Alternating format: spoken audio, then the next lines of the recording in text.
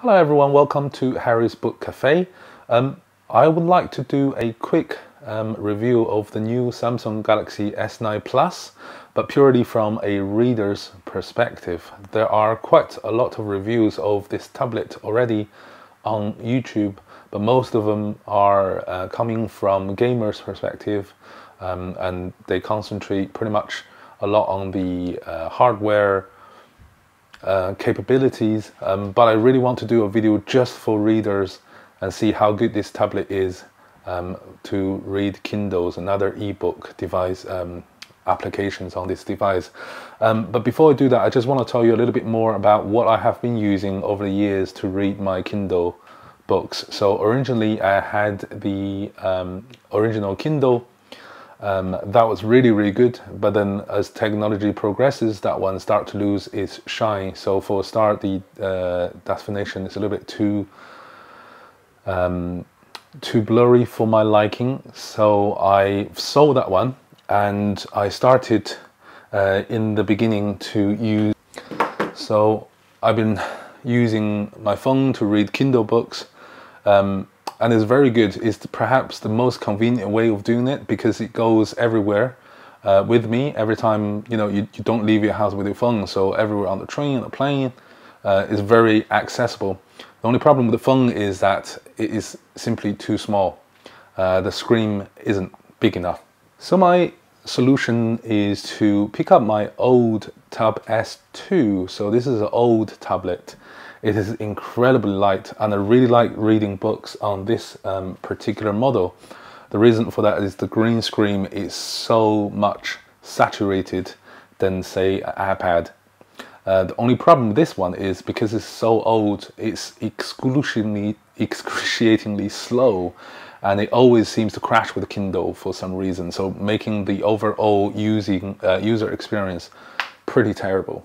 So the next solution is to steal my daughter's iPad. Now, reading on iPad is absolutely fantastic. The, the, the letters are crispy, crispy clear. The only problem is, is um, iPad is slightly heavier than the tablet that I used to. Uh, the other problem is that my daughter keep stealing it back. And because of all that, I decided to purchase the new uh, Samsung Galaxy S9 Plus. There are three models. You got the normal S9, the S9 Plus, and the S9 Ultra. The only difference with the uh, the ninth generation is the screen size. Now with the S Plus, which is what we have here, is the middle of the road. It has a 12.4 inch uh, screen, and that's OLED screen, so it's incredibly clear and fantastic. The Ultra uh, is just a little bit too large for me. It's 14 and a half, so it's the size of a laptop. Um, the S9 I think is 10.4, so that's a decent size, but I just want something a little bit larger. Um, so this is one that I got, and the first thing I noticed uh, compared to the iPad is that this is much much faster than the iPad. It's incredibly fast. Uh, certainly with app um, with a normal sort of everyday application, but we want to focus uh, especially on Kindle and Libby. So with the Kindle, overall user experience is absolutely phenomenal. I truly enjoyed reading on this device.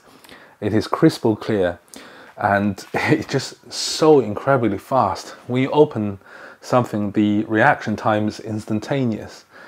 Um, and really, it makes a refreshing change compared to the old tablet that I used to have. Your tablet is there, it's incredible. Um, and what I really like is, as you can see, when you tab on the page, the on the bottom, the most uh, used used apps are listed below. So, for instance, I can effortlessly sw switch from Kindle to Netflix, from Netflix to Libby. Libby Instant, um, by the way, is another reading app and that is for the local library. So you can download this app and borrow a library card, and you can start um, borrowing books online.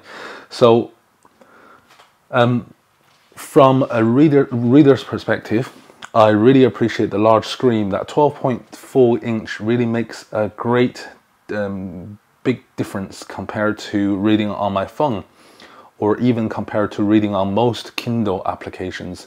Um, however, with the new Kindle Scribe, Um, it has a 10.4 um, inch screen, so that the, the screen isn't a problem on this one. The only reason I didn't purchase another Kindle device but get it on the tablet is because it just looks so much nicer because everything is in color. Whereas in Kindle, everything is black and white, so it just doesn't look as good. Um, so yeah, so from a reader's perspective, I absolutely love this tablet. The only downside for this particular model is, is it is heavy because the size. It, it is massively heavy. Um, however, with the with the purchase of this new um, little cover, I managed to uh, read it, read books uh, in this orientation. So I can just lean back on my sofa and start reading um, this particular, you know, books and stuff like that. It's just a, a, great experience. I can recline on my sofa, eating grips like a Roman emperor. Um, absolutely phenomenal. So I just thought I'd do a quick, uh, very quick review, purely from reader's perspective. I highly recommend this tablet uh, if you are into reading with your tablet. Uh, Kindle works like a dream. Libby works like a dream. There's absolutely no complaint.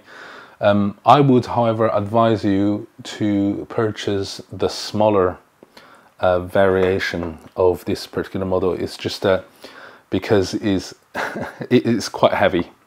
Um, but with this particular cover, that, that sort of problem moves away. Um, but if you don't want to get the cover, if you just want to hold it, then get the smaller version, um, the, the Tab S. Anyway, that's it. Uh, that's all for today. I really hope that you enjoy this particular and short episode. Uh, if you do, please give it a thumb up and subscribe to the video so I can uh, introduce more videos like this in the future. It really does help with YouTube algorithm. Anyway, guys, thank you so much for watching. Cheerio, until next time.